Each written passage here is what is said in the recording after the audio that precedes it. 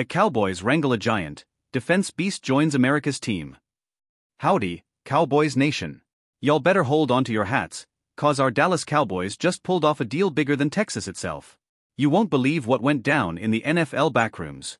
Our boys sat down with them New York Giants and walked away with a gift that'll make every quarterback in the league shake in their cleats. The Cowboys are bringing home none other than Jordan Phillips, a defensive line monster who's fixin' to give opposing offenses nightmares.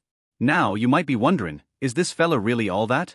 Well, let me tell you, Phillips stands at 6 feet 6 inches, weighs in at 330 pounds, and has taken down quarterbacks 24 times in his career.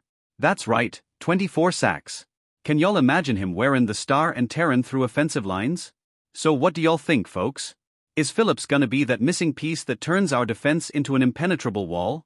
How's it gonna look seeing him play alongside our very own Micah Parsons? Think about it the Cowboys have been needin' someone to stuff the run game.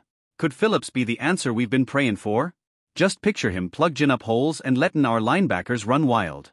In my humble opinion, this here trade could be the tunin' point of our season. Phillips has the potential to be that difference maker when the chips are down. But what about y'all, nation? What's your take?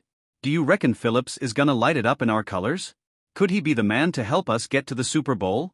Drop your thoughts in the comments, we're dyin' to hear 'em.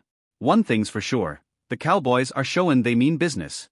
Snatching a player of this caliber from a division rival?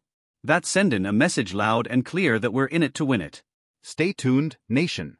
This season's shaping up to be a real barn burner, and with Phillips joining the ranks, our defense is looking meaner than a rattlesnake. Let's ride this one out together, cause that Lombardi trophy's just waiting for us to bring it home to Texas. How about them Cowboys?